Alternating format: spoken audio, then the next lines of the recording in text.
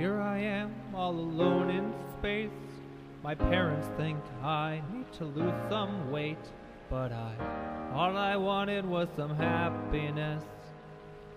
Be my prince and I'll be your princess, but that's just not for me. I'm not that pretty. There's something in my path again, giant spider. That's that's enough for me. I give up, give up. So what? So what? Silver spoon, are you hearing me? You've got to escape from camp energy. There is no such thing as being lost in space. Between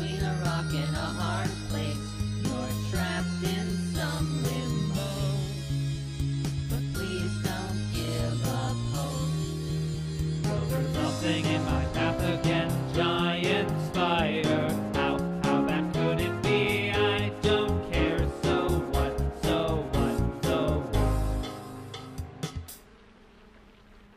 That was awesome.